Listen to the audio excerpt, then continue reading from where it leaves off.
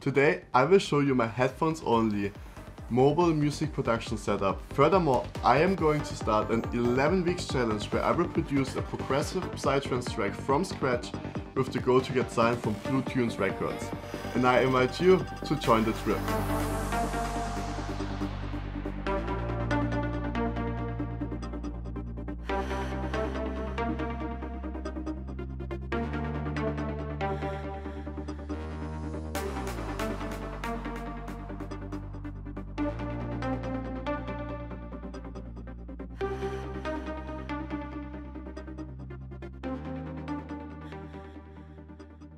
Hey guys, I'm Eleven Times. I recently moved from Germany to Bangkok, Thailand, and my dream is to become a full-time DJ music producer. So, I started DJing two and a half years ago and taking music production more or less seriously, I would say around one and a half years ago. I know that my current music production skills might not be good enough to get signed at one of the biggest and best trance labels of the world, but what I realized is I work so much better and I'm so much more focused when I'm under pressure. So I will put myself into this uncomfortable situation right now where I say I will produce a track in 11 weeks. Even if I might know that it's not that realistic. But anyways, I think I will learn a lot and I will invite you to join this journey and maybe you can learn something too. And furthermore, even if I don't get signed from Blue Tunes Records, I hope that I can get the attention from this label for the following reasons. So my biggest passion is being a DJ and performing the music I love. And Blue Tunes Record has signed some of my all-time favorite artists, just like White Noise, Cyrus 7, Ranji, Metronome, Ghost Rider, and so many more. Standing on a lineup with my heroes together would be like one of my biggest dreams come true. The record label is based in Germany, however, once in a month, they usually organize one of the biggest and best progressive trance events in Thailand on Koh Phangan, the Half Moon Festival. And then would it be awesome to be part of one of these Half Moon festivals as a DJ. So, the Psytrance scene in Thailand is really small. There are some communities, some event organizers, and once in a while there might be like a bigger Psytrance event. But what I realized, they are all focusing on foreigners and tourists. However, after playing at some local events, especially in Bangkok, I realized that Thai people love this kind of music too. They are so hyped, they are dancing, they are raving, they love it. However, after I played, many times people went to me were like, hey, I love this music, but what's the name of this music genre? I never heard about that. So that made me realize how unknown this kind of music is in Thailand. Since then, I committed myself to do everything I can to make progressive trance and psytrance huge and popular in Thailand. And what I hope is to get the attention from Blue Tunes Records and hopefully organize some events together in Thailand or even Southeast Asia. And now, with no further ado, let's jump into the studio tour. When I moved to Thailand, I wanted to be able to produce music while traveling around Southeast Asia. That means for me, it wasn't an option to buy new speakers and treat my room acoustically.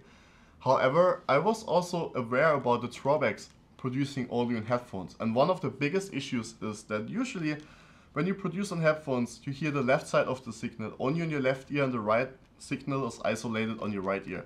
And this is causing a super wide stereo effect. And the problem with that, it's likely that you overdo reverbs, delays or other effects. And even more crucial, it makes it really hard to place single instruments within your stereo field.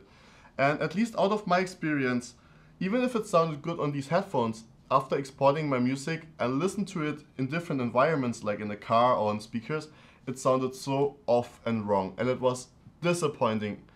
Really, really disappointing. So I was searching for a solution to get better results using only headphones.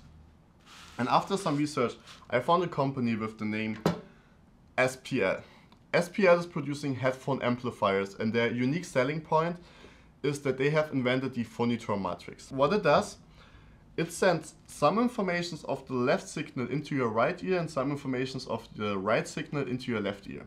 And this is simulating somehow the effect of listening through speakers. To be honest, in the beginning I was kind of disappointed because I was hoping to hear a more noticeable effect. But I have to say, since I have this interface, my results are so much better and it doesn't matter anymore where I listen to my music. So it's way more transparent and it sounds more similar of what I hear on my headphones and in different environments. The only drawback is it needs to be plugged into a socket, so it needs to have electricity. That makes it not the best solution for traveling. However, after having this for some months, I could not live without this and yeah, I can highly recommend this if you consider producing only on headphones because of annoying neighbors or because you want to travel too. Next, let's talk about my headphones. So I decided to buy the Focal Clear Professionals.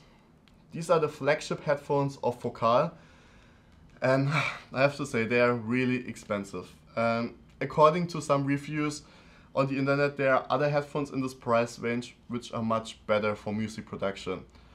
But I tested most of them and I have to say I simply love the sound of these headphones even if they don't have the most flat frequency response. I don't know, it just felt right producing and keeping these headphones. And especially these headphones in combination with uh, Sonarwork Reference, which is like a software which is flatten out the frequency response of specific headphones. It's a really good combination and I love them. However, I will also point out you don't need to pay that much money for good studio headphones. There are headphones for in lower price ranges which have amazing quality. So more expensive is not always better, but after testing these headphones, I knew I want to keep them. So yeah, these are my headphones. Next, wait, my MIDI keyboard. I decided to go with the Komplete Kontrol 32. This is the smallest um, native instrument MIDI keyboard. And yeah, I love it because it's really small, it's compact, it's super light rated, so it fits perfectly into any backpack. And it comes with a lot of the Komplete plugins and sample banks and so on. So it's a really, really good deal. And yeah, I can highly recommend this too. A really good device. Now let's talk about the most important thing when it comes to music production or one of the most important things, and that's the laptop. I recently updated to the MacBook with the M1 chip, the MacBook Pro with the M1 chip and 16 gigabyte of RAM. And I have to say I'm blown away by the performance. So before I had the 2019 model, I had so many problems with this device, like overheating, fan noises, and so on. Since I have this, all these problems are gone. And I'm super happy. But I also have to say, especially Ableton is not optimized for M1. That means it runs over Rosetta 2 and this is causing sometimes some crashes. So I would highly recommend you to save your project files manually on a regular basis. Another disadvantage of this device is it just has two Thunderbolt connections.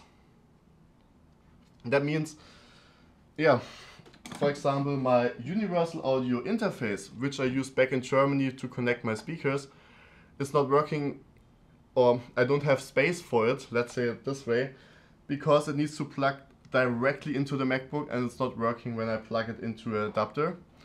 And uh, yeah, the disadvantage of this is I cannot use the awesome plugins from Universal Audio anymore, or at least for now. But anyways, it's not a big of a deal. So my mobile music setup is my amplifier, my headphones, my MacBook and my MIDI keyboard. That's all I need to produce good music and I'm really happy that I found a solution to make my setup this small. But when I'm home I also have like a bigger screen because obviously it's better to have a bigger screen especially when you work on Psytrance tracks where you have like so many different tracks and you would like to keep an overview. And besides that, what else do I have? Um, I have this here, this is a headphone amplifier. And the cool thing about this is you can connect several headphones. So if you produce with someone together, only on headphones, you could connect this into your device and then yeah, produce together while listening to different headphones. But to be honest, I never used it so far. that's actually my studio. There's nothing much more to say. Um, here are my babies, my CDJs where I record all my um, YouTube mixes. But yeah, anyways, I hope you liked the video. You could learn something or get some inspiration to make your setup working. And I hope to see you next week on episode 2 of 11. So see you and enjoy the trip.